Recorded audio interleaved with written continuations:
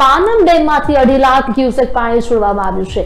પાનમ ડેમના દસ ગેટ ખોલી દેવામાં આવ્યા છે, કારણ કે જળાશયમાંથી પાનમ નદીમાં બે લાખ ચોપન હજાર આઠસો સિત્તેર ક્યુસેક પાણી છોડવામાં આવ્યું છે. તો જળ સપાટીનું રૂલ લેવલ જાણવા ડેમમાંથી પાણી છોડવામાં આવ્યું છે. તો ઉપરવાસમાંથી સતત પાણીની નવી આવક જોવા મળી રહી છે.